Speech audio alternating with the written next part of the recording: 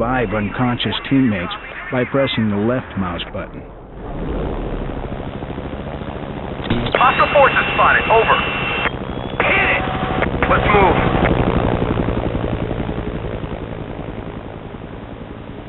Roger that.